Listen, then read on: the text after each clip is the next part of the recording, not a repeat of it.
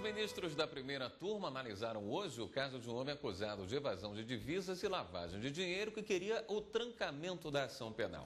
Os ministros consideraram que o pedido ao Supremo não é o meio certo para isso e também iniciaram o julgamento de uma ação sobre o pagamento de contribuições previdenciárias por uma cooperativa.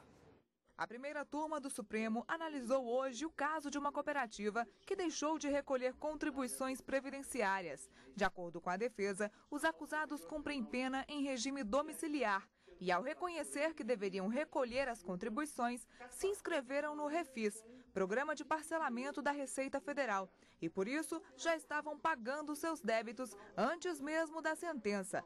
E por isso pede que a ação seja suspensa. O Ministério Público alegou que a condenação já está em fase de execução e que por isso não há cabimento da suspensão. O ministro Dias Toffoli pediu vista para analisar melhor o caso. Os ministros também julgaram uma ação em que o réu é acusado pelos crimes de lavagem de dinheiro e evasão de divisas. Juntamente com outros 27 acusados, o réu foi investigado por operação da Polícia Federal. A defesa dele alegou que o STJ concedeu a ordem para trancar a ação penal e entendeu que a denúncia pelo crime de lavagem de dinheiro era inepta, ou seja, não haviam provas suficientes para propor a ação. Alegou também que os valores que estão na conta do acusado fora do país são legais, já que são fruto da venda de imóveis no Brasil.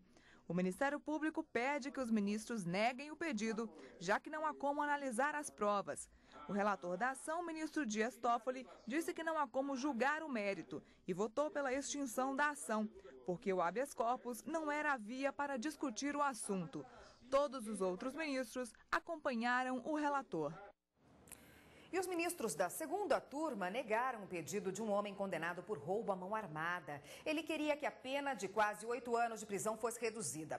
Em outro caso, os ministros também negaram o pedido de um homem acusado de matar um traficante de drogas em uma disputa por pontos de tráfico. Entre os pedidos de habeas corpus analisados pela segunda turma, os ministros rejeitaram o de um homem condenado a 18 anos de prisão em regime fechado. Ele é acusado de ser traficante e ter armado uma emboscada para um homem que foi assassinado com vários tiros. A vítima dirigia um carro quando começou a ser atingida e, mesmo depois de sair do veículo, continuou sendo baleada. Foi um caso de acerto de contas, em que a vítima disputava um ponto de tráfico de drogas com o réu. A defesa alegou excesso na dosimetria da pena, mas a segunda turma negou habeas corpus.